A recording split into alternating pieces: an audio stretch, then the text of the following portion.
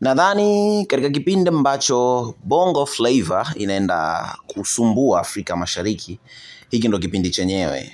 Obvious ni kipindi ambacho Bongo Flava inaenda katika ramani kubwa sana ya utambulisho wa Afrika Mashariki.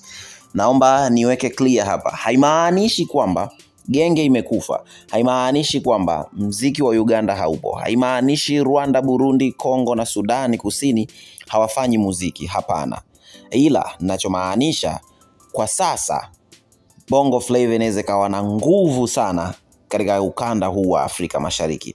Ni kipindi ambacho wasanii wengi wa Bongo wameendelea kufanya vizuri na wamekuwa kwenye ramani, ukianzia uh, Diamond Platnumz, Harmonize, Ali salah Kiba, Rayvanny, Vivian Boy, Mario na kwa upande wa kike ambao of course Afrika Mashariki lazima wazungumzie.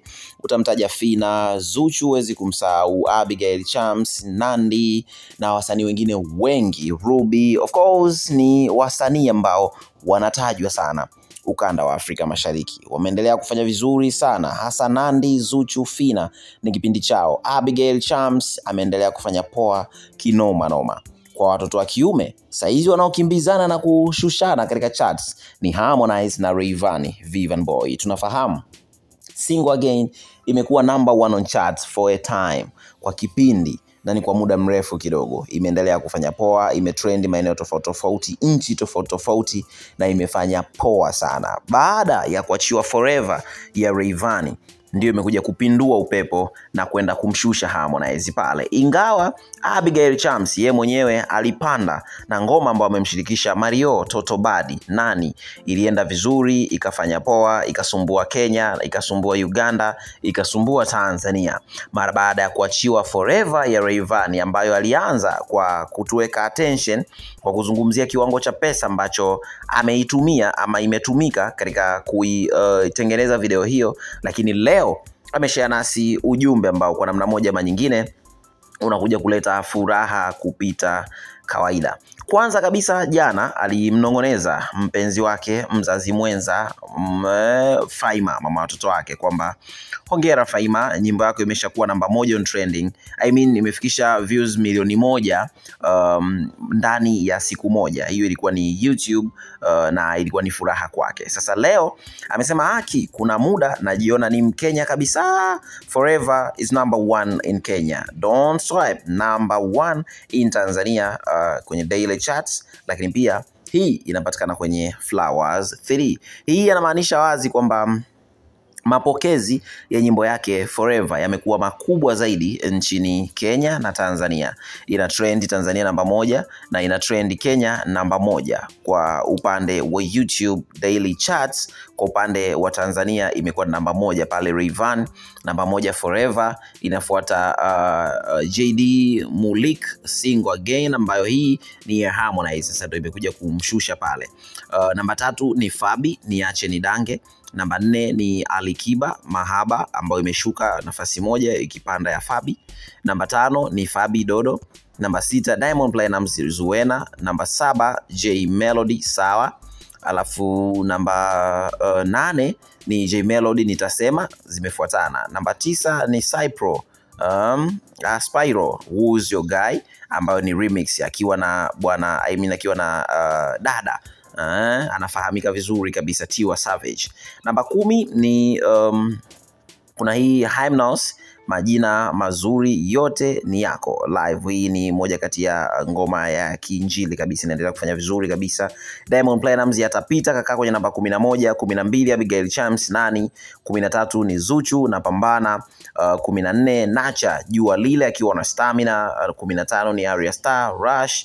kumi na sita uh, Jaiva Soup, lakini pia uh, kumi na saba uh, kumi na nane Zuchu Kwikwi ambayo bado inaendelea, imeingia kwa mara ya kwanza ndani ya chati hii ya siku, kwa sababu hizi ni charts ambazo zinatolewa kila siku, ndio maana nimesema ni YouTube daily chart. So Rayvanny kashika namba moja akimshusha Harmonize kwenye Single Again, huku ikiwa na watazamaji kibao kule nchini Kenya kwenye nyimbo zinazo trend kwa sasa YouTube, basi uh, Rayvanny ni namba moja vile vile. Kupatia ama kufikia um, kufuatia uh, mafanikio hayo ya Rayvanny. Kupitia Insta story yake ameshare vitu vingi sana ikiwemo video fupi ambayo amesema sasa hii ni Forever uh, uh, anasema ni Forever season 2 kwamba ni part 2 ya Forever anaitoa hivi karibuni, na akasema watch out part 2 ya Forever, sijui inatoka lini. Uh, na hii ni moja kati ya nyimbo ambazo zinapatikana katika katika um, album yake I mean EP yake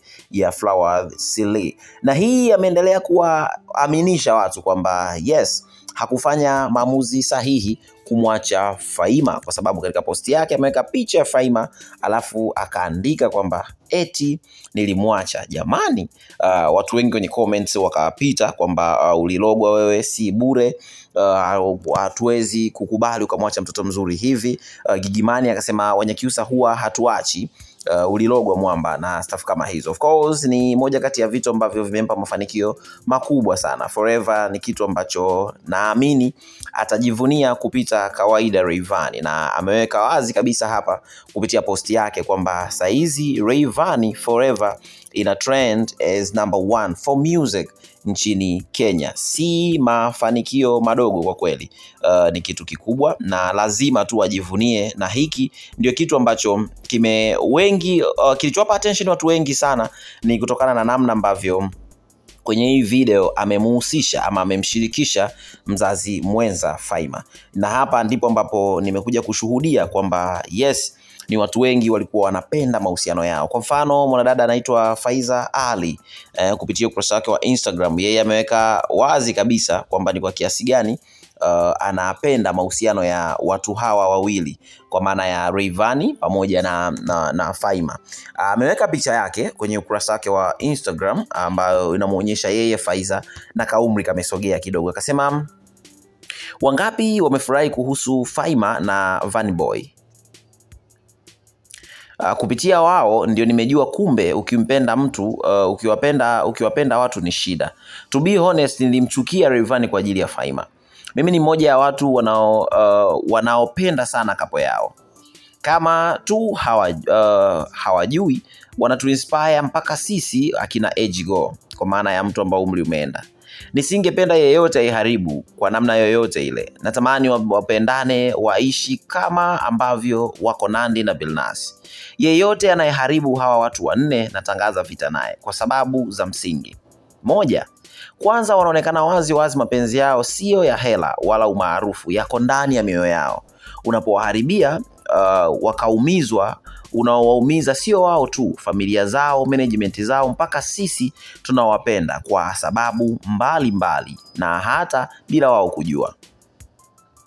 Sababu ya pili, hawa mapenzi yao hayajajiokoa ni ya baraka kabisa, maana kuna zile ndoa zimetokea watu wame wameoana uh, wamechoka wameuchoka umaskini au kudanga, wamezeeka au status au wamepora hawa wana, mm, au, au wamepora hawa wanapendana kutoka moyoni. Na wame, um, au wamechoka, anasema wamechoka umaskini na wamezeeka, lakini hawa wamependana kutoka kwenye mizizi kabisa, yaani wana glow na kushine pamoja. Unapowaingilia watu wa namna hii, wewe ni katili kabisa, Amrish Kapoor.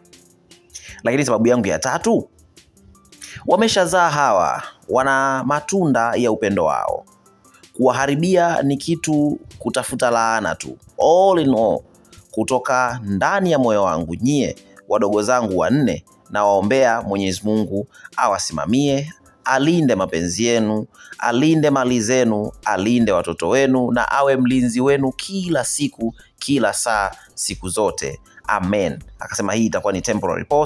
Mapenzi ya kweli yanauma, mapenzi ya kweli ni raha, mapenzi ya kweli ni baraka. Watu wengi sana wamemuunga mkono Faima kwa hiki, I mean kwa Faizali kwa hiki alichokiandika huku wengine akisema bahati mbaya wabongo watajua unamchukia ama unamchukia Paula pamoja na Kajala kwa kuweka posti hii, na yeye mwenyewe akasema bahati nzuri huwa sijali ama siwajali kabisa wabongo, na ndio maana naishi maisha yangu, sifuatilii wabongo wanasema nini, sijali wabongo wanazungumza nini. Kiukweli kabisa, moja kati ya kitu ambacho kimetengeneza attention kubwa na kufanya uwimbo uende mbali zaidi ni Rayvanny kumtumia Faima, kwa sababu ni kapo ambayo watu wengi wanaipenda na waliumizwa kuona hawako pamoja. Maoni yako ni muhimu zaidi, acha comment hapo chini nami nitajibu moja kwa moja. Tua TV with you.